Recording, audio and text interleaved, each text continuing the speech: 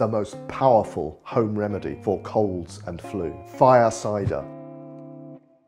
We'll start with the chilies. We don't have to chop them super fine. We want roughly equal quantities by volume. The garlic's gonna take some doing. Crushing strategy there. Chop this up. It can be very rough. Pop that into our jar. An onion. Of course, just wanna get the outer skin off. All of these ingredients have one thing in common. They're very, very pungent. And next we'll take the ginger, get as much out of it as we can. Chop up that last bit there as well. Be careful when grating horseradish. It's a very powerful smell. It's quite tough this, it's quite woody. Fill this jar to just under the full mark, then I think we're done. We're gonna add the cider vinegar, seal up, and I'm just gonna give it a little shake at least once a day for at least two weeks. Anytime you need some, you can simply dispense yourself a little teaspoon.